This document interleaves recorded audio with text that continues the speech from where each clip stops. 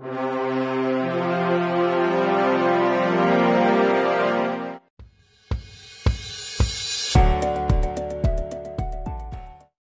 మాట కొరకు మిత్రులందరికీ ప్రస్థానానికి స్వాగతం. మరి ఇలాంటి వైరస్ సోకినప్పుడు ఈ వైరస్ సోకి రోగం వచ్చిందని తెలిసినప్పుడు దానికి మందు కూడా వేయాలి కదా? టీకా కావాలి కదా?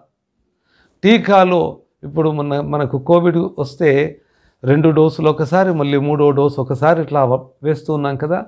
చిన్నపిల్లలకు చంటి పిల్లలకు ఫలానా ముప్పై రోజులప్పుడు ఒక ఇంకో ఒక టైప్ డోసు ఇంకా మూడు నెలలప్పుడు ఒక డోసు ఆరు నెలలకు ఒక డోసులు అంటూ డోసులు ఉంటాయి కదా. అలా ఈ వైరస్కి నాలుగు డోసులతో కూడుకున్న టీకానివ్వాలి ఏమిటి ఆ నాలుగు డోసులు? Dose number one. అసలు ఎవరైనా సరే మనమందరం మన ఆరోగ్య సమస్యల గురించి మాట్లాడను అని తీర్మానం చేసుకోవాలా? ఇది టీకా. మొదటి డోసు. ఎందుకు ఇతరులతో పదే పదే ఏకరువు పెట్టడం? ఆ ఆరోగ్యం బాగుండదండి నాకు కాలు నొప్పండి గుండె నొప్పండి పంట నొప్పండి నాకు బీపీ అండి షుగర్ అండి నడువు నొప్పండి కూర్చుంటే లేవలేనండి లేస్తే కూర్చోలేనండి. ఈ సమస్యలు చెప్పడం వల్ల జరిగే ప్రయోజనం ఏముంది? ఏవి ఆలోచిస్తే అవి ఇంకా ఎక్కువ అవుతాయి. మీరు దేని గురించి అయితే ఆలోచన చేస్తూ ఉంటారో అది మీకు అందించబడుతూ ఉంటుంది. ఇవ్వబడుతూ ఉంటుంది. మీకు మరింత ఎక్కువ అవుతుంది. అసలు మీరు ఆరోగ్యం మీ ఆరోగ్యం ఏంటి ఈ సమస్య ఏంటి ఈ నొప్పి ఏంటి ఈ బాధ ఏంటి అని ఆలోచించడం అనేది మానేస్తాను. అసలు నేను ఆలోచించను ఎవరితో మాట్లాడను. దానిని నా మనసులోకి తీసుకురాను నా మస్తిష్కంలో ఆలోచించే ప్రసక్తే లేదు. నేను ఎవరి ముందు కూడా దాన్ని ప్రస్తావనలోకి తీసుకురాను. ఎవరైనా అడిగితే ఐఎమ్ సో గుడ్ అని చెప్తాను అని ఎప్పుడైతే మీరు తీర్మానం చేసుకుంటారో అది మొదటి డోసు ఇచ్చినట్లు. అది పని చేయడం మొదలు పెడుతూ ఉంటుంది లోపల. డోస్ ఇచ్చాక పని చేస్తుంది కదా. సో మొదటి పాయింట్ ఏంటి అంటే మీ ఆరోగ్యం గురించి అసలు ఎవరితోటి ఏకరువు పెట్టేది లేదు. ఈవెన్ మీరు కూడా ఆలోచించేది లేదు. నాకేంటి ఈ సమస్య నాకేంటి ఆ సమస్య? వద్దు. ఆరోగ్యంగా ఉండడం కోసం నేను నడుస్తాను ఇది తింటాను ఇలా పడుకుంటాను ఆలోచించండి అంతవరకే. నా అనారోగ్యం గురించి ఏంటి అంటూ మాత్రం ఆలోచన చేయకండి. ఓకే? ఇది మొదటి డోసు. రెండోది ఏమిటి అంటే అసలు అనారోగ్యము గురించిన ఆలోచన దానికి సంబంధించినటువంటి భయము ఆందోళన చెందడం. షుగర్ వచ్చింది. షుగర్ వస్తుంది. కొందరికి జెనెటికల్గా వస్తుంది కొందరికి లైఫ్ స్టైల్ కారణంగా వస్తుంది. ఇక షుగర్ వచ్చింది. ఇక నేనేమి తినకూడదేమో? రేపు దీంతో ఇంకా ఏమేమి వస్తుందో? నేనేం తినాలి ఏం తినకూడదో?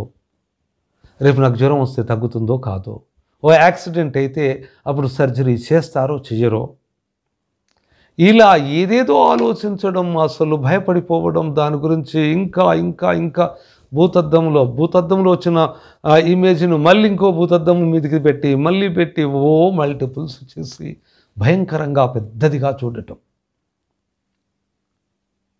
దానివల్ల ఏమైపోతుంది? మీరు విపరీతంగా భయపడిపోతూ ఉంటారు. భయపడుతూ ఉంటే అది మిమ్మల్ని భూతములా కప్పేస్తూ ఉంటుంది. సో మీరేం తీర్మానం చేసుకోవాలి? అసలు అనారోగ్యము గురించి జాగ్రత్త పడతాను నేను అంతవరకే. కానీ ఆందోళన చెందే ప్రసక్తే లేదు. షుగర్ వస్తే రానివ్వు. గుండె నొప్పి వస్తే రానివ్వు. ఇంకొకటి వస్తే రానివ్వు. అన్నీ తగ్గిపోతాయి. ఏమి? సైన్స్ డెవలప్ అయింది మెడిసిన్ వచ్చేసింది డాక్టర్లు ఉన్నారు వైద్యం ఉంది.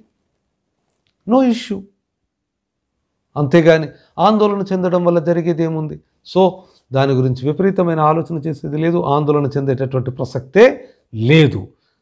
ఇప్పుడు డోస్ టూ పడినట్లు. డోస్ వన్ ఏంటి? అసలు మాట్లాడరు ఆలోచన చేయరు. రెండోది ఏంటి? ఆందోళన చెందరు. ఎంత సమస్య వస్తుంది ఇలా ఉంది అలా ఉందన్నా మీరు ఆందోళన చెందరు. ఆందోళన చెందితే అది పెద్దగా అయిపోతుంది. కాబట్టి ఆందోళన చెందే ప్రసక్తి లేదు. మూడోది ఏంటి అంటే ఇంకో డోస్ రెండు డోసులు అయిపోయాయి మూడవ డోస్. ఓకే ప్రతి ఒక్కరము ఇప్పుడు ఏదో ఒక రకమైనటువంటి కొన్ని సమస్యలు ఉండొచ్చు అలాగే ఏ సమస్య లేకుండా కూడా ఉండొచ్చు. మనం కళ్ళజోడు పెట్టుకోలేదు అంటే అసలు మన కంటి సమస్య లేదు పర్ఫెక్ట్ విజన్ ఉందని ఏమి కాదు అర్థం. ఎంతో కొంత దోషం ఉండుండొచ్చు. ఏమి హాయిగా కులాసాగా నడుస్తున్నాం వెళ్తూ ఉన్నాం పరిగెడుతున్నాము అంటే ఇంకా ఏ సమస్య లేదని కాదు. కాసేపటికి నడుము నొప్పి రావచ్చు లోపల ఏదో చిన్న సమస్య ఉండొచ్చు. చిన్న చిన్న సమస్యలు ఉంటాయి. కొంత సమస్యలు ఉంటాయి. కొంత మామూలుగానే గడిచిపోతూ ఉంటుంది. కళ్ళు లేనటువంటి వాళ్ళు గొప్ప గొప్ప చదువులు చదువుకోవట్లేదా గొప్ప గొప్ప పనులు చేయట్లేదా? కాళ్ళు లేనటువంటి వాళ్ళు గొప్పగా ఆటలు ఆడట్లేదా డ్యాన్సులు చేయట్లేదా? మనం మయూరి సినిమా చూసాం. ఇట్స్ నాట్ జస్ట్ మూవీ యథార్థగాథ ఏదో ఉంది కదా మనకు.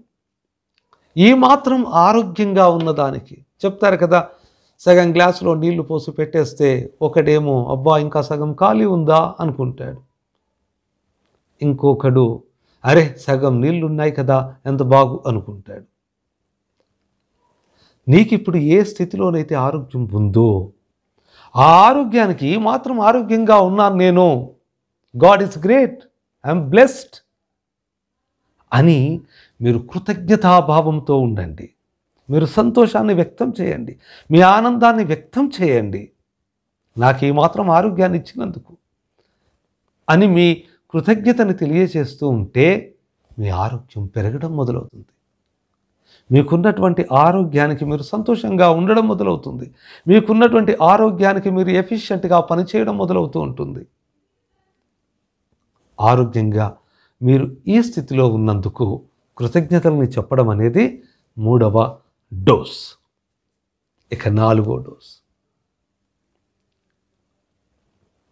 ఇప్పుడు ఒక ఐరన్ పీస్ని ఒక పెద్ద ఐరన్ రాడ్ని బాగా ఉపయోగించిన నాళ్ళు ఉపయోగించాం.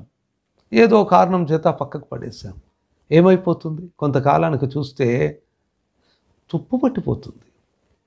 అంతా ఇట్లా బిల్లలు బిల్లలుగా రాలిపోతుంది.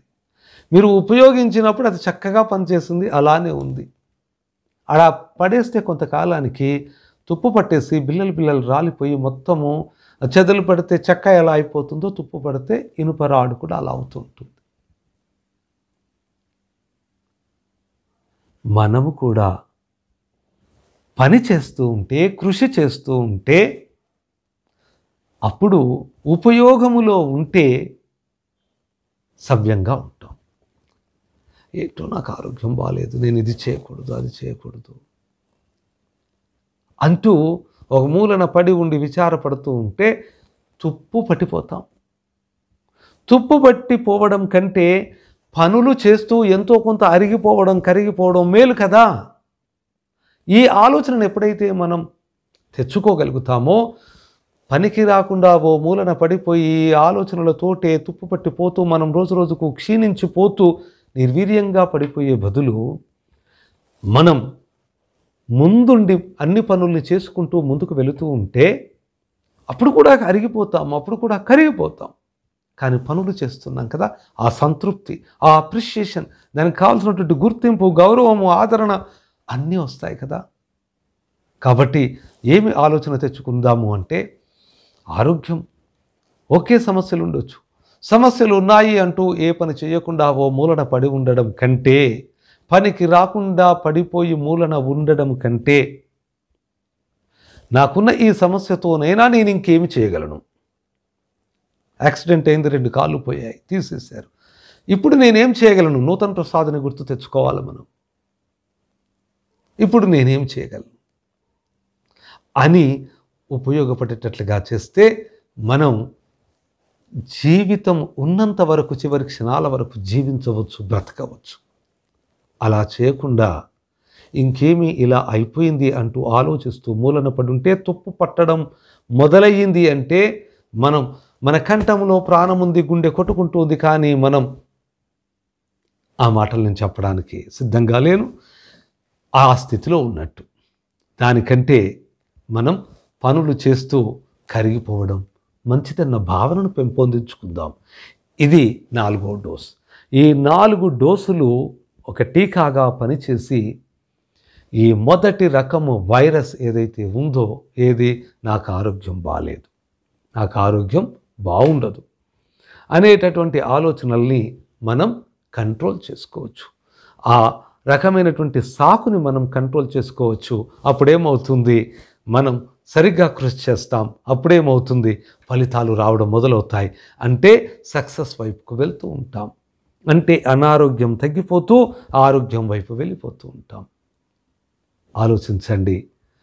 మరో రకమైనటువంటి వైరస్లు ఉన్నాయి కదా తెలివితేటలకు సంబంధించింది వయస్సు మీరింది. అలాగే నాకు అదృష్టం లేదు. వీటికి సంబంధించినటువంటి అంశాలను కూడా మరో వీడియోలో చర్చించుకుందాం. చాలా సంతోషం మీ అందరితో ఈ సమస్య గురించి మీతో మాట్లాడుతూ ఉన్నందుకు మీరు దీన్ని సరిగ్గా అర్థం చేసుకుంటారని ఇంప్లిమెంట్ చేస్తారని నేను ఆశిస్తూ అలాగే మీ చుట్టుపక్కల వాళ్ళని కూడా ఇలానే ఆలోచిద్దాం మనం అంటూ మీరు వాళ్ళని ప్రేరేపిస్తారని ఎడ్యుకేట్ చేస్తారని ఆశిస్తూ మీకు ఈ వీడియో కనుక నచ్చినట్లయితే మీ కామెంట్స్ని ఇచ్చి ఈ వీడియోకి ఒక లైక్ ఇచ్చి అలాగే మీ మిత్రులందరికీ దీన్ని షేర్ చేయండి ఫార్వర్డ్ చేయండి. Thank you.